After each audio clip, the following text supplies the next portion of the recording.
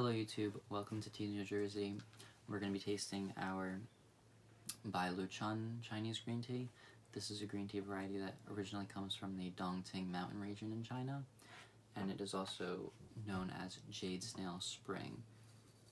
This tea is iconic for its tight snail shape of the rolling of the loose leaf, and we're going to be using our 150 milliliter gaiwan for our 3 grams of leaf.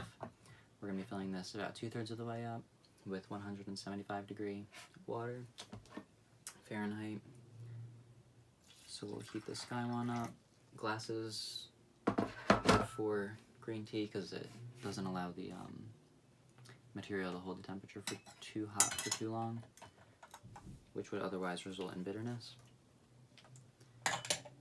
So we'll go ahead and brew this.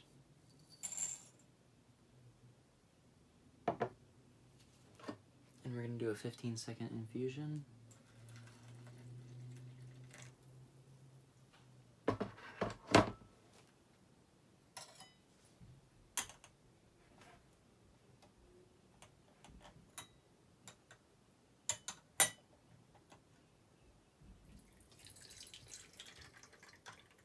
This quick infusion will allow you to use the leaves for at least four more times and then faster infusions don't allow the um, the tea to get too bitter. So the aroma coming off of this tea let's smell the wet leaf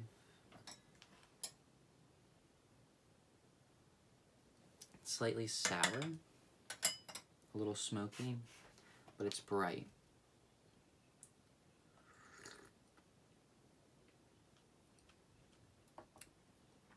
Soft, um, sweet floral flavors, a soft smokiness.